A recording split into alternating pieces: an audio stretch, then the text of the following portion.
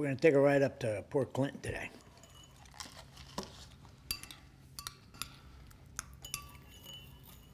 I thought we were staying here. No, the girls are gonna stay here. You and me are going up and, uh, we'll be back three hours tops. Well, What about, what's in uh, Port Clinton? A plane. Flying to, to where? Detroit.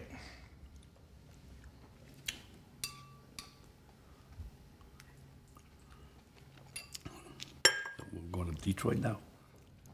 No, you're gonna go to Detroit. And when you come back, me and you, we get together with the girls, we take a nice slow drive up with cigarette breaks, you know.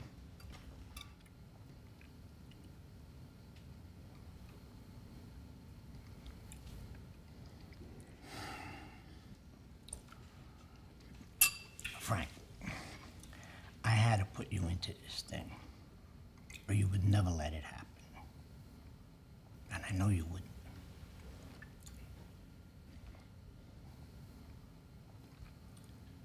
But it's gonna happen.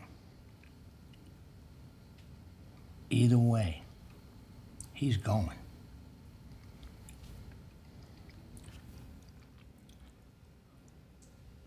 I know how you feel. Trust me, I know how you feel.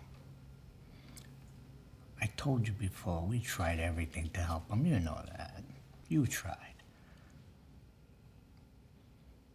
He brought this on himself. And it's landing on us. The only reason they agreed to this was out of respect to me. But you and Will be okay. Because you're with me.